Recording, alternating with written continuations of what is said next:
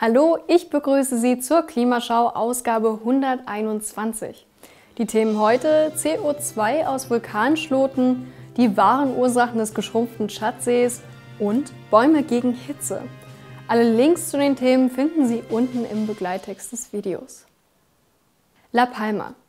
Am 19. September 2021 erwachte der schlummernde Vulkan auf der Kanareninsel La Palma. Drei Monate lang spuckte der Feuerdrache auf der südlichen Flanke der Insel der Cumbre Vieja Lava und Gase. Ein historisches Spektakel, das eine Vielzahl von Ausbruchstouristen anzog. Das aus dem Vulkan sprudelnde Gas enthielt auch größere Mengen CO2. Wie viel dieses Treibhausgases sind jetzt freigesetzt worden und welche Rolle spielt dieser natürliche CO2-Eintrag in die Atmosphäre für den Klimawandel? Laut Schätzungen der lokalen Behörden gelangten beim Ausbruch etwa vulkanisches Kohlendioxid in die Atmosphäre. Allerdings handelt es sich um grobe Schätzungen, wobei mit starken zeitlichen Schwankungen zu rechnen ist. Über den Daumen gerechnet haben wir es vielleicht mit 90 Tagen von jeweils 1500 Tonnen CO2 zu tun, insgesamt also mit CO2-Emissionen von nur 135.000 Tonnen. Nur um eine Größenordnung zu nennen. Im Vergleich dazu lagen die Treibhausgasemissionen des Verkehrs in Deutschland 2020 bei 146 Millionen Tonnen CO2, also etwa tausendmal höher. In einem Beitrag von Korrektiv gibt der Vulkanologe Boris Benke jedoch zu bedenken, dass aktive Vulkane auch ohne Eruption Kohlendioxid ausstoßen können. So ergaben CO2-Messungen des Vulkanologischen Instituts der Kanarischen Inseln aus dem Jahr 2017, dass die damals ruhige Cumbre Vieja auf La Palma täglich etwa 800 Tonnen CO2 ausstieß. Über das Jahr zusammengerechnet sind das immerhin 290.000 Tonnen. Aber es gab auch schon bedeutendere Emissionen bei Vulkanausbrüchen. Als 1991 der Pinatubo auf den Philippinen ausbrach, gelangten 50 Millionen Tonnen CO2 in die Atmosphäre. Das ist immerhin ein Drittel der jährlichen CO2-Emissionen des deutschen Verkehrssektors. Eine weitere CO2-Schleuder ist der Ätna auf Sizilien. Aus ihm entgasen täglich enorme 9000 Tonnen CO2, was 10 Prozent des aktuell weltweiten vulkanischen CO2-Ausstoßes entspricht. Ursache des CO2-reichen Magmas ist wohl ein kohlenstoffreiches Erdplattenstück, das vom Magma auf dem Weg aus dem Erdmantel zur Erdoberfläche durchstoßen wird. Dies ergaben geochemische Analysen eines deutsch-italienischen Forscherteams um Alessandro Bragani. Auch aus dem Kilauea auf Hawaii entgasen große Mengen an CO2, immerhin etwa 3000 Tonnen pro Tag. Auf Island entlässt die Cutler-Spalte jeden Tag 12.000 bis 24.000 Tonnen CO2 in die Atmosphäre. Sie haben richtig gehört, täglich. Laut einer Studie eines Teams um Evgenia Iljinskaya von 2018 entspricht dies bis zu 4% der globalen CO2-Emissionen von nicht eruptiven Vulkanen. Im Januar 2022 ereignete sich ein riesiger Ausbruch in Tonga, bei dem vulkanische Asche mehr als 40 Kilometer hoch bis in die Stratosphäre katapultiert wurde. Chinesische Forscher stellten fest, dass sich der atmosphärische CO2-Gehalt in Tonga schlagartig von 412 auf 414 ppm erhöhte. Ganz offensichtlich setzte der Ausbruch auch größere Mengen an CO2 frei. Forscher des Deep Carbon Observatory Program schätzen die jährlichen weltweiten vulkanischen CO2-Emissionen auf 280 bis 360 Millionen Tonnen. Das ist etwa doppelt so viel wie die Treibhausgasemissionen des Verkehrssektors in Deutschland.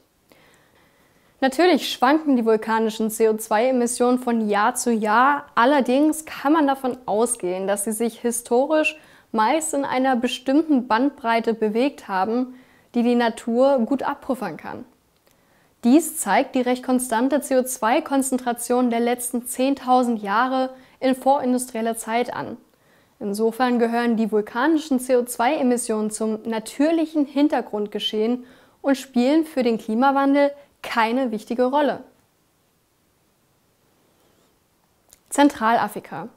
Der Klimawandel wird heute reflexhaft für fast alles verantwortlich gemacht. Zu heiß, zu kalt, zu trocken, zu nass. Immer soll der Klimawandel schuld sein. Eine wachsende Anzahl von Wissenschaftlern protestieren gegen diese simplistische Sichtweise. Denn mit der Masche versuchen mittlerweile auch Politiker, ihre Planungsfehler zu kaschieren. Erst diese Vorsorgefehler machen Extremwetter nämlich zu wahren Katastrophen. Der Wissenschaftsjournalist Fred Pierce hat im Februar 2022 auf der Plattform Yale Environment 360 eine Reihe von Beispielen präsentiert, bei denen das Klimanarrativ missbraucht wurde. Die Webseite wird von der angesehenen Yale School of the Environment in New Haven, Connecticut betrieben. Den Einstieg macht das Sommerhochwasser in Deutschland von 2021. Pierce dokumentiert, wie die deutschen Politiker, allen voran Angela Merkel, den Klimawandel vorschoben, um von eigenen Versäumnissen abzulenken. Insbesondere hätte die großflächige Umwandlung von Moorgebieten in Ackerland die Saugfähigkeit der Böden für Starkregen enorm reduziert. So wurde der Niederschlag nicht mehrere Tage von den Mooren zwischengespeichert, sondern gelangte innerhalb von Sekunden und Minuten in den Flüssen. Laut einer Analyse der niederländischen Beratungsfirma Stroming hätte der ursprünglich schwammähnliche Boden das Hochwasser um ein Drittel niedriger ausfallen lassen. Ein anderes im Artikel genanntes Beispiel ist die Dürre und Hungersnot in Madagaskar von 2021. Auch hier bemühten lokale Politiker vor allem den Klimawandel als Hauptschuldigen. Die Wissenschaft widersprach. Ein Team um Luke Harrington vom New Zealand Climate Research Institute analysierte die historische Dürreentwicklung in Madagaskar und fand, dass sich die Regenfälle noch innerhalb der natürlichen Schwankungsbreite bewegen. Der Hauptgrund für die Hungerkrise wäre vielmehr Armut und fehlende Bewässerungsmöglichkeiten. Ein weiteres Negativbeispiel ist der Tschadsee. Vor einem halben Jahrhundert war der See im Zentrum Afrikas noch riesig.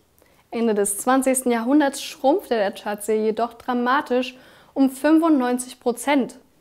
Fischer konnten nicht mehr mit ihren Booten herausfahren, Landwirte konnten ihre Felder nicht mehr bewässern und verloren ihre Lebensgrundlage. Viele Menschen verließen daraufhin die Region. Nigerias Präsident Muhammadu Buhari kannte den Schuldigen ganz genau. Auf einer Investorenkonferenz erklärte er 2021, dass vor allem der Klimawandel hinter der Misere stecke. Und die Afrikanische Entwicklungsbank bezeichnete den Tschadsee als lebendes Beispiel dafür, wie der Klimawandel Afrika zerstört. Fred Pierce erinnert seine Leser jedoch an die wahren Gründe des geschrumpften Sees. Dürren hatten den Tschadsee in den 1970er und 80er Jahren stark reduziert, danach erholten sich die Regenfälle jedoch wieder. Trotzdem blieb der See klein. Das Problem, das üppige Regenwasser konnte den Tschadsee gar nicht mehr erreichen. Nigeria, Kamerun und Tschad hatten nämlich die Zuflüsse mittlerweile zu einem großen Teil umgeleitet, um das Wasser für die landwirtschaftliche Bewässerung der wachsenden Bevölkerung zu nutzen. Eine Studie von 2019 fand, dass die übermäßige Wassernutzung der Zuflüsse 70 bis 80 Prozent des Tschadsee-Problems verursachte. Robert Oakes von der United Nations University's Institute for Environment and Human Security in Bonn bemängelt, dass die Fixierung auf den Klimawandel die Identifizierung und Behebung der wahren Probleme verhindert habe.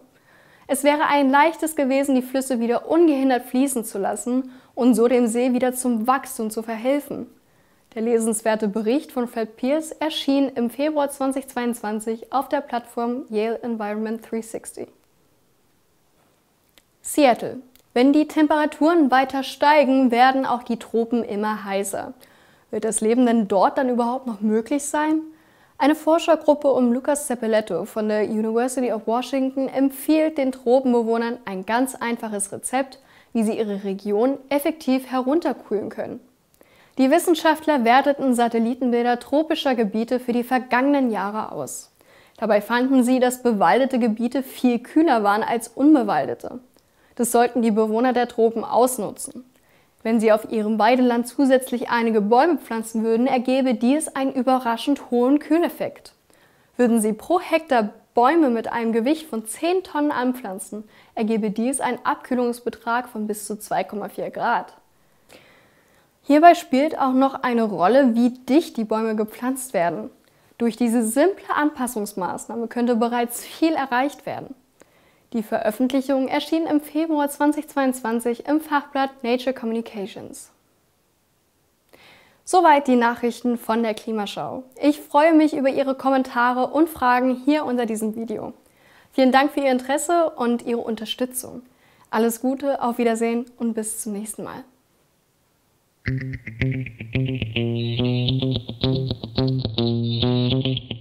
you.